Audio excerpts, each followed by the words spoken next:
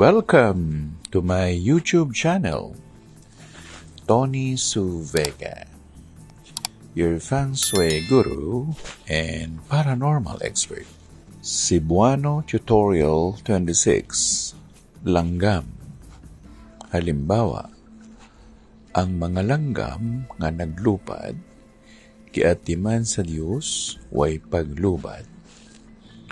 Ang mga ibon na lumilipad, inaalaga ng Diyos ng walang pasubali.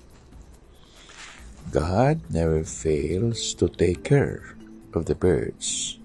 How much of you? Will He not take care of you? God supports, God loves, God gives.